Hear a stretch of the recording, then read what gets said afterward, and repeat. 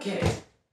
Why is it so hard? Man, I talk all the time. I mean, I'm doing it right now. Why can't I just put, like, dialogue on paper? It's different, I guess. I mean, I'm not having any luck drawing over here either. How much do we have? Well, we have a hero, a sidekick, a villain, some potential names for these characters, and we know that we live in a post apocalyptic New York where Pokemon cards are the only valuable currency. I thought we decided to table the whole trading card currency discussion for later. I mean, yeah, but come on. We both know that we're going to use it. It's just, we haven't even, you know, came up with plot lines. We haven't even decided on a plot line or, or powers, and we, we don't even have a B story. What if we try one of those brain games? You know, you say the first thing that comes to your mind. Okay.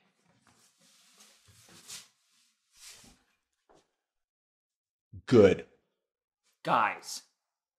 bad, Guys. power. Bottom. Okay, this is stupid. Nothing's working. Maybe we just need to bounce some ideas off some people. I thought we agreed to do this alone so that we didn't need any other people. Well, I mean, we don't need them, but I mean, we can use them. Huh? Like, okay, what if we get a group of people together to give us ideas without knowing that they're doing it? Like a survey or something like that. Ooh, like a think tank. A brain trust. Hey, dude, why don't we just get a ton of people together, throw a mixer, and get some real juices flowing? Yes, but if you keep throwing out phrases like power bottom and juices flowing, you and I need to discuss some new sleeping arrangements.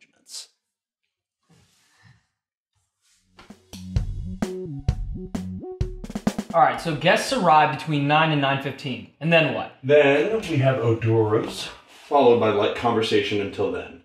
Cool, that'll give them enough time to relax and get to know each other.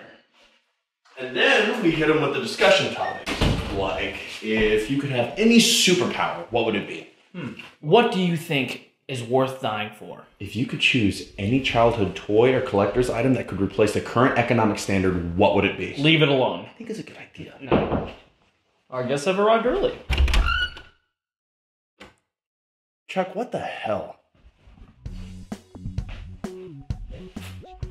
Chuck, what, what are you doing, man? What do you want? I'm here for the mixer. I- I'm sorry, Dwayne. This is the most casual I could find on such short notice. What are you talking about? Well, the flyer that Dwayne sent out said it was going to be dressy casual, but I didn't have any, and so I. That's not what that means, Chuck. You sent out flyers? Yeah, I figured it would be as legit as possible. I'm sorry. I would hate to go all the way back home just to change, though, so. You live here, man. Right. I'll be right back.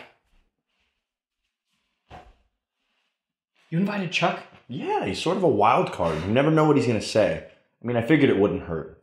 That's fine. As long as you didn't invite. So, the Go In brothers are having a party, eh? Dwayne, can I see you in the kitchen, please?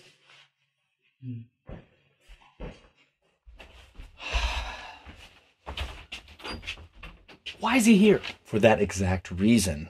Okay, maybe he's a little fixated on homoerotic puns, but he's a master at wordplay. It can come in handy.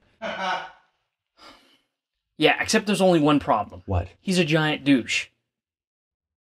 Future New York gets attacked by a giant douche. See, it's already working. We'll call it Summer's Eve and the big apocalypse. Okay, maybe it won't be so bad. Hmm? People are going to start arriving anyway.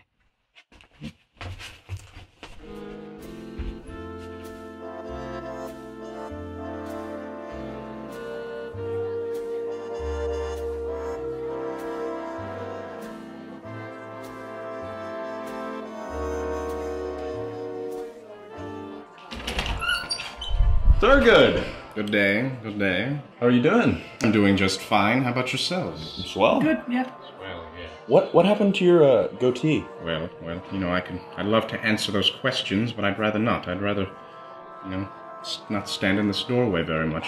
Come on in.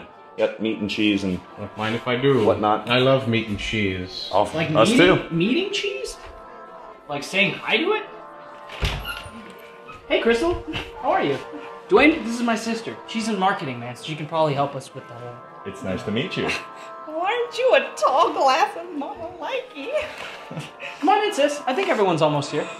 It's for the salchicha, my favorite. Looking good, Pete. Yeah, but what's with the tie? Well, it's a mixer, ain't it? I'm just trying to get lucky. See if I can't find a female that wants to take me home with her. Man, there's only one female. It's not that kind of mixer, Pete. And plus, who are you gonna pick up? You smell like week old Mexican food. First off, that is surprisingly accurate to what I smell like. Second of all, it's called tactics. I figure my smell will help gravitate the conversation to shower time without seeming too forward. Good luck with that, Stinky Pete. Now come on in here and eat some food that hasn't took the glad bag yet. Indeed. Don't mind if I do. I like your black outfit, Crystal. Seems fitting. There's all the black in my Lewis and Clark trail. Wow. So what about you, dear? Why is there no My name's Incredibles Clark. 2? Oh, They set it they set it up perfectly at the end of The Incredibles. Why why haven't we gotten a second part yet? You want to see Incredible? I'll show you Incredible. Yes, yes. These aren't even glasses. These are made of plastic. Yeah, I mean, I've been drinking mostly out of my, the palms of my hands and an old hat, so I'm Oh. pretty good with this. Yes, yes. I Happy assumed you're it. some sort of uh, writer by the appearance of your clothing here.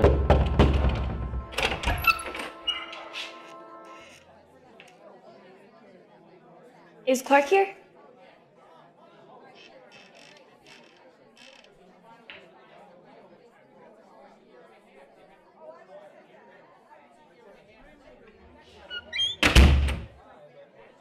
I think it's going good, man. Like we, we got a bunch of good, bunch of good information. Mm-hmm. Of course, without them knowing. But I mean, I really think we can utilize this into the comic book. Yeah, of course. Not to mention all that I creative stuff. I like what Thurgood said. yes, I was about to. You. Hey, you made it! Your buddy wanted to know where you live, so I told him you were throwing this little thing here. Hey, Haas, it's not as sexy as I thought it was gonna be. Everybody out. Now.